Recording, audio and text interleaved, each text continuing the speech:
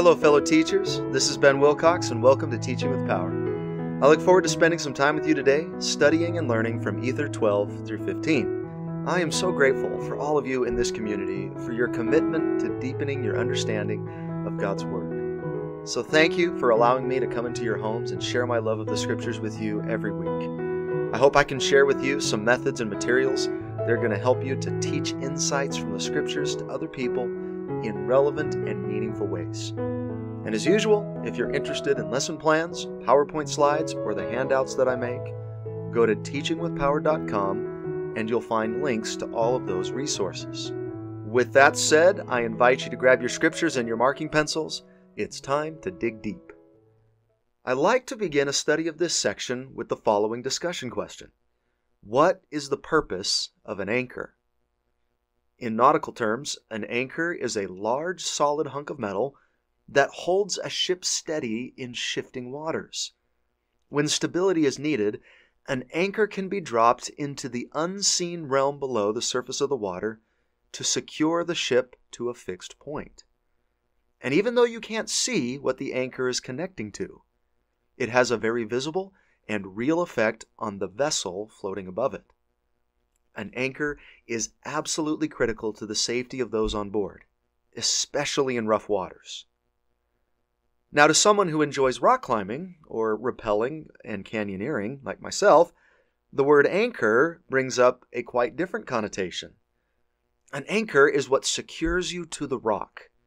It's what you connect your ropes to and place all of your weight on as you climb or rappel. Your life literally depends on the quality and stability of the anchor and your connection to it. Now, for the metaphor, if your life was likened to a boat on the water or a climber on her rope, what's your anchor? And that question is deliberately open ended. There are many different facets of the gospel that could be compared to an anchor. And allow your class to share some examples of their anchors. However, they decide to apply that metaphor, you can transition to the scriptures by saying something like the following The prophet Ether drew on the image of an anchor to teach us something about navigating the stormy waters or the cliffs of life. Can you find the word anchor in Ether chapter 12? And it shouldn't take them long to locate it in verse 4. There, Ether introduces us to what he considered to be an anchor to our souls. And the importance of this anchor becomes even more pronounced when you consider the setting of the chapter. Actually, the double setting.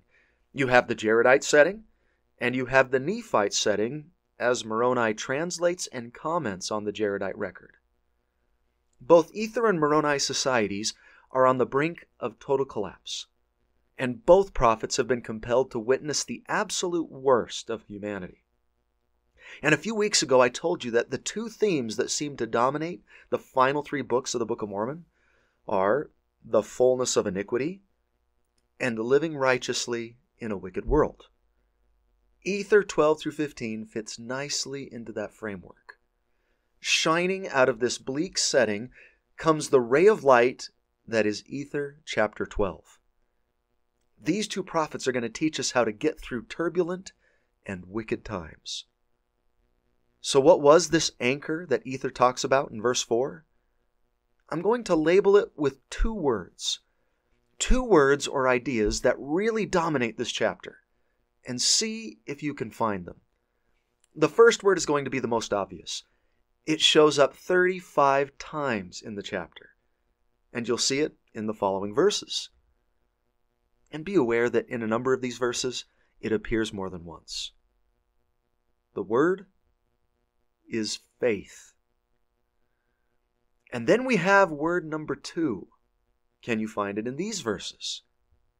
And it doesn't appear as much as the word faith does, but I feel it's equally significant in this chapter. That word is hope. Faith and hope are the backbone of this chapter. For the purposes of this lesson, I'm going to basically use those two terms interchangeably, as I believe that they are basically synonymous. I'm sure that somebody much smarter than I am could probably really parse out and separate those two definitions well. But certainly the two are deeply connected.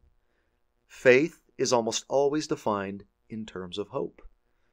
In fact, here in Ether 12:6, Moroni gives his definition of faith. And now I, Moroni, would speak somewhat concerning these things. I would show unto the world that faith is things which are hoped for and not seen. There's more to faith than just belief, it's also hope. There's a chronological aspect to it. It's hope in future things, future blessings, future promises, future prophecies. And in the scriptural sense, hope is more than just wishful thinking or desire. Real hope is something that drives you and motivates you to action. We act on that hope. I hope and expect things in my future if I maintain my current course of righteousness. With that in mind, I like to read Ether 12 looking for what I call the three hopes. And you could just as easily call them the three faiths if you'd like. These three hopes together constitute what I feel is the anchor of the soul. Each hope is going to help us remain fixed and steady in the turbulent waters of the last days. Or if you prefer the climbing anchor metaphor, the three things that will hold you fast and safe to the rock of our Redeemer. Over the years, I've taken many youth groups rappelling, and uh, the church's standard of safety requires a three point anchor, when I normally would only use two. The church wants us to be extra safe, and these hopes will keep our souls extra safe as well. They got Moroni and Ether through their stormy and dangerous era, and they can do the same for us as well. And you can see these three hopes interwoven and overlapped and linked together throughout the entire chapter. As you study, imagine that each hope is like a pair of glasses or lenses through which you read the entire chapter. And each pair is going to bring a slightly different message into focus. So let's begin with lens or hope number one. I like to introduce the first hope in verse 4. And do you see a hope in there?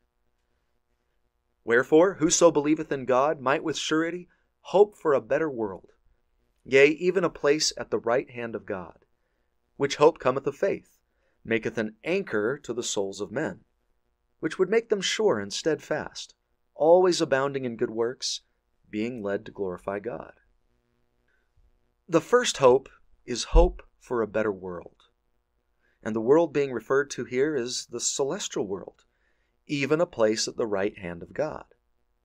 One of the things that will help us most to remain steadfast through difficult and turbulent times is the assurance that they won't last. There's a better world waiting for us out there in the future. This fallen world has an expiration date. At one point, it will undergo a glorious transformation. Article of Faith number 10 says that we believe one day the earth will be renewed and receive its paradisiacal glory. That hope for a better world in the next life can pull us through the most difficult of circumstances. Something that helps us get through a really tough week of work is the knowledge of an approaching weekend. Something that helps us to get through a demanding semester of school is the knowledge that summer vacation awaits just around the corner. We can stand the pain and discomfort of the dentist's chair because eventually the appointment will end and our teeth will feel better because of it. And something that helps us to get through the challenges of this life is a belief in a spirit paradise, a, future millennial reign of Christ, and hopefully celestial glory. Those future realms are things that we can't see right now. We can't behold those worlds with our natural eyes yet. We have to have faith in them. We have to have hope for a better world. And in that light, now read Ether 12:6. And now I, Moroni, would speak somewhat concerning these things. I would show unto the world that faith is things which are hoped for and not seen. Wherefore, dispute not because ye see not. For ye receive no witness until after the trial of your faith. And in this sense, or through this lens, the trial of faith is life, it's mortality. The witness of a better world will come after that trial. Therefore, we should not dispute the existence of a spirit paradise, a millennial reign, or a celestial glory because we can't see them. If we have hope for those worlds that aren't seen, one day the witness of them will come after our trial. Now skip ahead to verses 32 to 38. Where do you see the hope for a better world in these verses? And in verse 32, Thou hast said that thou hast prepared a house for man, yea, even among the mansions of thy Father, in which man might have a more excellent hope. Wherefore man must hope, or he cannot receive an inheritance in the place which thou hast prepared. There's a phrase in there that I deeply love. The prophet speaks of a more excellent hope. This hope for a better world isn't just a good hope. It's not just an inspiring hope. It's not just an excellent hope. It's a more excellent hope. As far as hopes go, this one takes top priority. We must have that hope if we wish to weather the storm. God has prepared a place for us that is better than this one. And verses 33 through 35 speak of Christ's role in preparing that place. He laid down his life to make it possible, and he did it because he had charity. And we're going to speak much more deeply about the role of charity when we get to Moroni chapter 7. And there, Moroni is going to return to that idea and really flesh it out. So I'm going to wait until then to dig deeper into that incredibly crucial topic. But then you have verses 36 through 38. And these three verses are going to have great significance in church history. This is the Lord's response to Moroni's pleas that the Gentiles would have charity. God's comfort to him is that it wouldn't matter as long as he was faithful. His garments would be made clean, and he would one day sit down in that glorious place that had been prepared. Well, it's these same three verses that are going to provide somebody else with comfort hundreds of years later in 1844 when two brothers are sitting in a jail cell in Carthage, Illinois, awaiting what they know to be their impending death. Those two brothers are, of course, Joseph and Hyrum Smith. And in that very dark and discouraging moment, where did Hyrum turn to find solace and comfort? Ether chapter 12, verses 36 through 38. Doctrine and Covenants 135, 4 through 5 tells us that Hyrum read these three verses and turned down the leaf of the page. And you might remember Elder Holland's dramatic use of that moment in his talk defending the truthfulness of the Book of Mormon, as he held that very copy of Hyrum's in his hands. And you could say that part of the comfort of that verse comes in the knowledge that his garments were clean from the blood of his generation. But another part of that comfort could come from the promise of being able to sit down in the place prepared for him in the mansions of the Father. Hyrum found hope in the promise of a better world than this one. That promise comforted him in his darkest hour. And now, for all of us, this hope for a better future world can help to keep us afloat in the choppy seas of life. Whenever you find yourself tempted to give up or sink into despair, may this promise of future glory and rest make your vessel sure and steadfast. Now, as wonderful and comforting as that hope is, there's another related one. And we mustn't cling to one at the expense of the other. What happens if all I do is hope for a better world in the next life? Does this life just become pointless drudgery? A thing to be endured? Do we walk pessimistically through mortality, just getting by, and hoping and dreaming for another world in the next life? To my understanding, that was the mentality of the Dark Ages of Western civilization. Nobody was living for this world, or hoping for this world, or trying to make this world any better. It was all about looking forward to the heaven of the next life, some future bliss and blessing, or just avoiding hell. Earth was fallen, miserable, and beyond repair, and there was no vision, no optimism. It wasn't until the Renaissance that mankind decided to begin trying to make this life better, to make this world meaningful and more worth living in. Hope number two, then, is hope for a better world here, a better terrestrial world. Back to Ether 12:4. Those that hope for a better world in the next life and in this life will live a certain way. It makes them sure and steadfast, always abounding in good works, being led to glorify God. That hope for a better world here will lead us to good works here. And starting in verse 7 and proceeding until verse 22, we have a really fun section. We're given a myriad of examples of people who demonstrated that faith and hope for a better terrestrial world. You've heard of the Hall of Fame, right? Well, here we have what I call the Hall of Faith example after example of individuals who had the faith to act on their hope of something better and the miracles they experienced because of it. In 12, 7 through 22, find all the examples of the miraculous things people were able to do and experience in this life because of their faith and hope for a better world.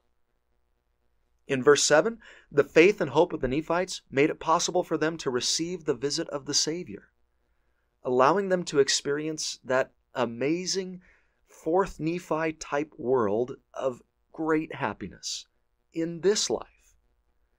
In 10, faith brings the priesthood into our lives, making this world a better place.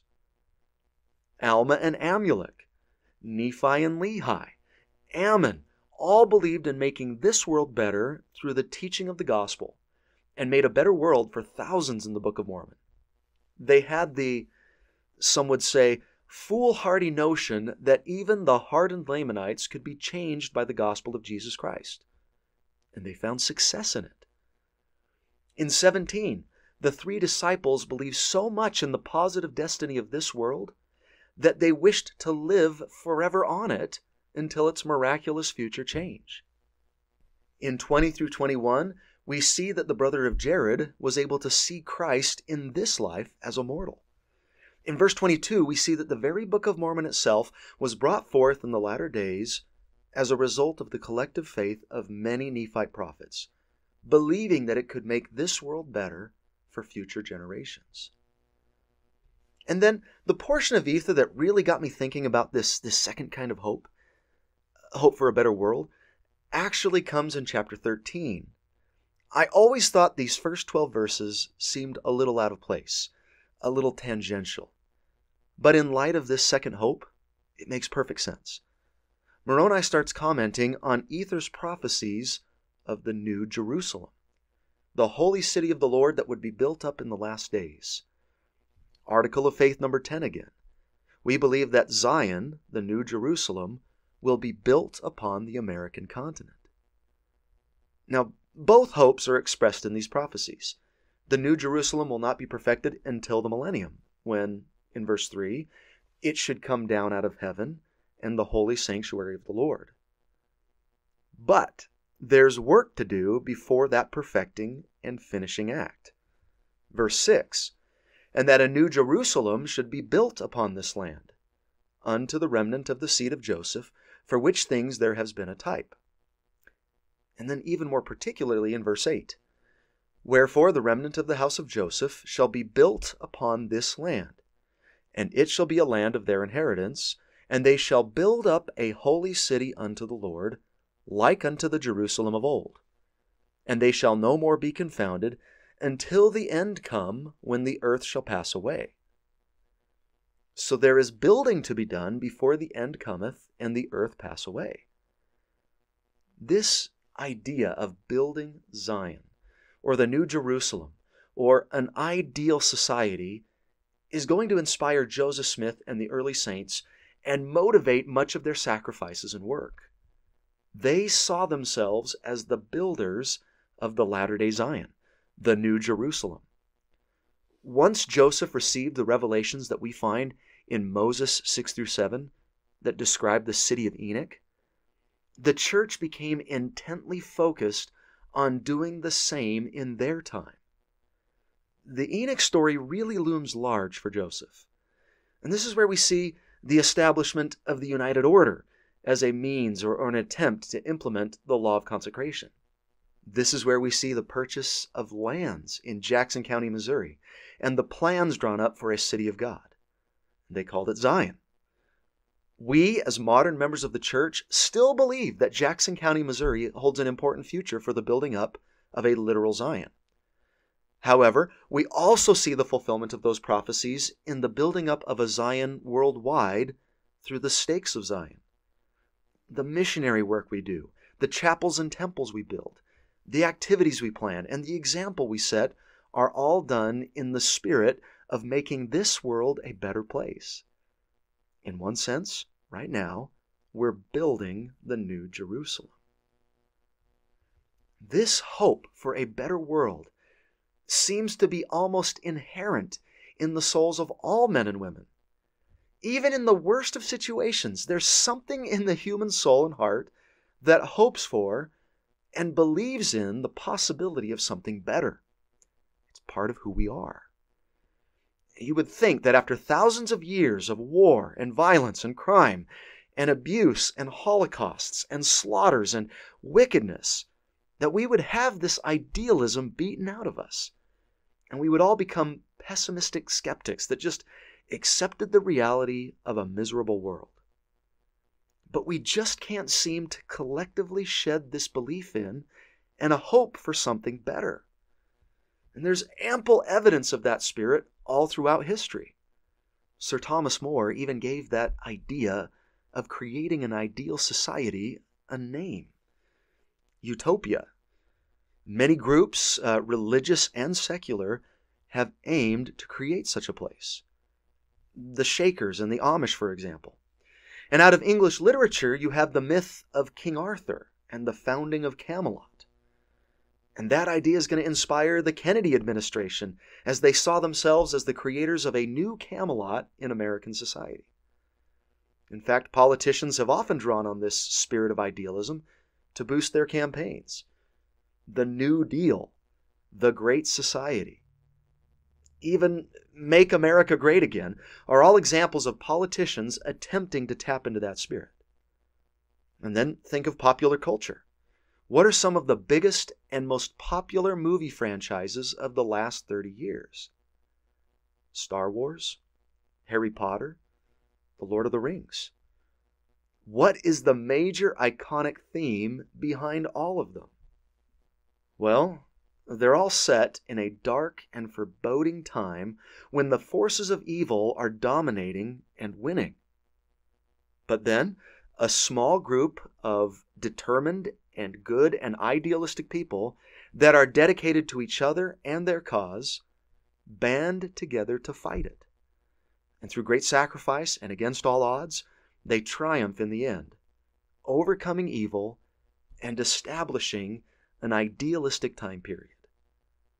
There's the defeat of Sauron and the return of the king in The Lord of the Rings, the vanquishing of Voldemort in Harry Potter, and even though it ends like six different times, the overthrow of the Emperor in Star Wars. In fact, the name of the very first Star Wars movie is Star Wars A New Hope. It's evident that humanity believes in and connects deeply with that idea. For members of the Church of Jesus Christ, our manifestation of that belief isn't fiction and it isn't out of reach. We believe in the reality of the creation of that kind of society. We're striving to build it now, and we look forward to its completion in the future, in the millennium, and the transformation of this earth eventually into the celestial kingdom. This desire acts as an anchor to our souls. It keeps us sure and steadfast and always abounding in good works now. And we need that spirit of progress and idealism, both societies and individuals. Heaven help us if we ever lose that hope of creating a better world. Hope number three. And so far, we've talked about hope in collective terms societies, nations, the church. But what about you as an individual? You could read this chapter through the lens of your own personal life. What can you hope for? For this section, I'll give you a number of verses to examine, and you can approach this with a handout as well. I'll make it available for download. Your students will read the following verses looking for things that they, as individuals, can hope for and exercise faith in. Each verse holds a key to that hope, and each is a part of the anchor. Ether 12:4 again. You can find hope for a better world for yourself in the next life and in this one. If you can connect yourself with that anchor of faith and hope, then it will make you sure and steadfast and always abounding in good works, and will lead you to glorify God. Ether 12:6 You can find hope in receiving a witness as an individual after the trial of your faith. Rest assured that if you are seeking an answer to a prayer, a witness of a gospel truth, or heavenly guidance, at some point, and according to God's wisdom, it will come. They who ask receive, they who seek find, and they who knock have the door of God's witness opened to them. Ether 12, 8 through 9. You can find hope in the heavenly gift. What's the heavenly gift? Take a look at verse 11. The gift of his Son. And how do we partake of that gift? That's a worthwhile question to ponder. Is it by emulating Christ? Is it by applying the atonement in our lives? Is it by living his teachings? Any way that you see it, we would do well to ask ourselves if we've partaken of that gift. It will certainly yield great blessings. And then, speaking of verse 11, you can find hope in the more excellent way. Do you remember how earlier we talked about a more excellent hope in verse 32? Well, pair that idea with verse 11. What brings us a more excellent hope? Following a more excellent way. It's a more excellent way than the law of Moses. It's the higher law, the way of Christ. Jesus Christ himself once said, I am the way. Christ's way is the more excellent way. And his way provides us with a more excellent hope, and traveling his excellent way with that more excellent hope I'm certain is going to lead us to a more excellent place, a place on the right hand of God. Ether 12:18, you can find hope in miracles. We as a church do believe in miracles. God manifests his power in special ways to those who exercise hope and faith in him. I've seen miracles before, things that cannot be explained away as coincidences. If what you desire seems impossible, you are still allowed to have hope in it because miracles can happen. Ether 12:19 You can find hope in one day actually beholding the things that now you only see with the eyes of your faith. And isn't that a beautiful promise? There are things that you can't see with your natural eyes. They exist only in the realm of our anticipation and the eyes of our spirit. But one day, we'll see those things in reality. We will actually see Christ standing in front of us, inviting us to touch the tokens of his sacrifice. One day, we will actually see the loved ones that we've lost and hold them in our arms once again. One day, we will actually be clasped in the arms of our heavenly parents. One day we will have all that we have believed in gloriously confirmed with our actual eyes. And we will be glad and we can find hope in that future happiness. Ether 1227. You can find hope in overcoming your weaknesses. We discussed those verses a little bit uh, a few weeks ago. We all have areas where we wish we could do better in. There's talents and gifts that we desire that seem to come so much more easily to other people. There are temptations that we wish we were stronger in denying. We have imperfections that seem to continually nag at us no matter how hard we try. We can have hope in the fact, through our humility and faith in God, that those weaknesses will eventually not only be eliminated, but actually made into our strengths. We can find hope in that future, better version of ourselves. Ether 1230, you can find hope in your ability to move mountains. Here is a literal fulfillment of Christ's teaching that man can move mountains with faith the size of a mustard seed. Now, if you take that teaching literally, it really doesn't do much good. How many people in this world are going to find themselves in situations where they're going to actually need to move a mountain? But if you interpret it symbolically, which is how I believe Christ intended us to interpret it, we all have mountains in our lives mountains of responsibility, of obstacle and challenge, of doubt, of work, of hardship. With our anchor of faith and hope, we can move those mountains. We can overcome that massive trial. We can climb over that challenge. We can dig down that doubt. We can accomplish that colossal task. Ether 1237. You can find hope in Christ's power to make you clean. It mattereth not what other people think or say or do. Christ's atonement and mercy and love can make you clean. God promises that He will remember our sins no more if we repent. It will be as if we never did them. If we're willing to turn fully to Christ, we can and will stand before God pure and perfected. Just look at that list. We've got a lot to hope for, don't we? We need not despair nor become discouraged with ourselves. This life is a journey, a process, a progression, a learning experience. We're not meant to have it all and be all and attain all right now. So please be patient with yourselves and with life and with God. We've got to do as Nephi taught back in 2 Nephi 31:20. We must press forward with a steadfastness in Christ, having a perfect brightness of hope.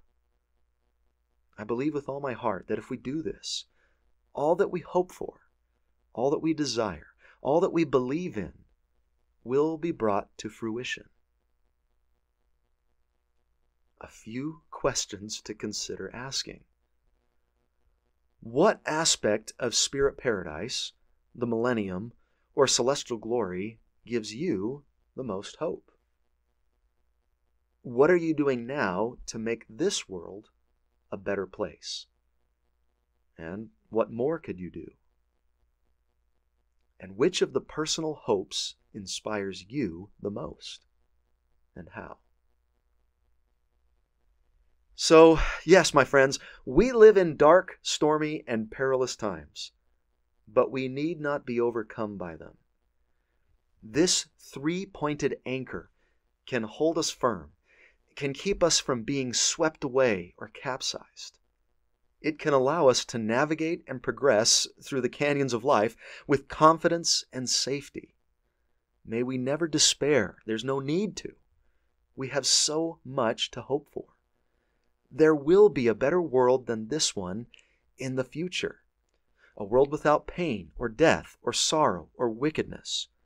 There will be a better world in this life as we continue to build Zion and separate ourselves from the world. There will be a better you in the future. If you maintain your hope, you will be filled with good works, with a strong testimony, having experienced many miracles, with weaknesses that have become strengths, with an unspotted soul. And though it's strange to say it this way, in the end, the Saurons, the Voldemorts, the Emperor Palpatines, the Satans will all be defeated, their dark kingdoms destroyed, and those dedicated, faithful, hopeful few that were willing to fight for goodness and light will enjoy their utopia, their Camelot, their millennium, and it won't be fiction anymore.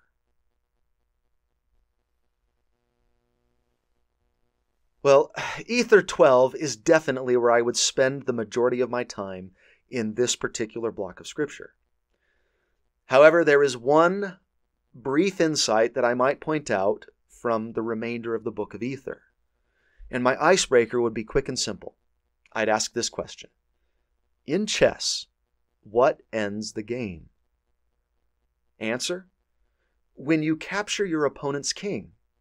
Once you have the king, it doesn't matter how many other pieces are on the board. It's over. On the other hand, a game between two very evenly matched players will often come down to just the two kings and a few pawns left on the board. The challenge is to see who can get one of their pawns to the other side of the board to be promoted first. This is a very common situation in chess and is called the endgame. But the point is this you fight until you take the king. Now, what we find in the final chapters of Ether is the endgame for the Jaredites. As a teacher, you may want to explain what happens to the Jaredites by summarizing these final chapters. The rival kingdoms of Coriantumr and Shiz fight until there are only the two kings left. And in quite dramatic fashion, Coriantumr ends up slaying Shiz. And for some reason, the story of Shiz's demise is a, a favorite among my male teenage seminary students. Go figure. But I often get asked why they would fight all the way down to just two people. You'd think that before that happened, they'd come to the realization of how pointless their war was becoming. Fighting until victory of what? There was nothing left to win, no society to fight for you kind of wonder what Coriantumr was thinking when he finally kills Shiz. Was it, Yay, we won the war? Or, uh, I won the war? Now what? but maybe it makes more sense in terms of chess. You don't win until you take the king. That was their philosophy of victory. So they fight all the way until only the kings are left. On the other hand, that may make sense in chess, but in real life, it certainly was pointless. They weren't thinking, and they weren't feeling at that point. And maybe that's the lesson. Something shut down their minds and their hearts. What is it that has the power to do that to people and lead them to such a tragic ending? I invite you to examine the following verses to discover what caused this total waste of human life and the effect that it had. What can motivate a people to continue fighting when it's obvious that they're completely destroying their own world? And the answer is anger. Anger and the emotion that so often accompanies it hatred. What effect does anger and hatred have on the human soul? The Spirit of the Lord ceases to strive with you. You give Satan power. It hardens your heart and blinds your minds. Nothing shuts down the heart from feeling and the mind from thinking quite as effectively as anger it can lead to Ether 15 type situations where the only thing that matters is revenge and destroying the other side.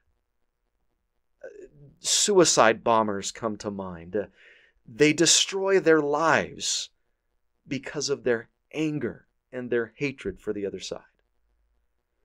Who cares if it ruins lives? Who cares if it destroys your peace and happiness? Who cares if it leads to the complete destruction of everything that you know and love? At least you stuck it to the other side. And I've seen and heard of this kind of thing destroying nations, workplaces, organizations, friendships, families, and marriages. Hopefully, we can learn from the Jaredites' mistake. Some discussion questions. When have you seen anger and hatred cause problems in your world? And what helps you to hold back anger and hatred? Well, the Jaredites lived in a deeply divided society. If you live in a deeply divided society, or you find yourself in disagreement with somebody in your own world and circumstances, don't let anger and hatred enter the equation. We can't let these things dominate or control our actions when we're divided. Instead, we can try compromise. We can try reaching across the aisle. We can try examining things from the other person's point of view. Or at the very least, we can learn to disagree without becoming disagreeable.